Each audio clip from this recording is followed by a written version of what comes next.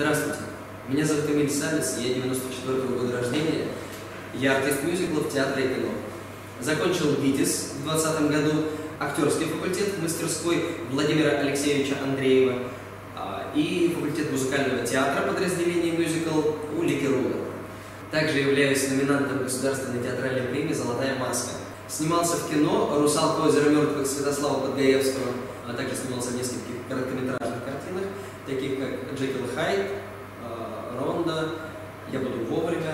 Из навыков умею петь, танцевать, а, немного умею ездить на коняшках.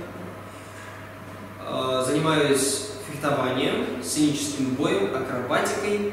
Буду рад сотрудничеству. Очень-очень хочу сниматься.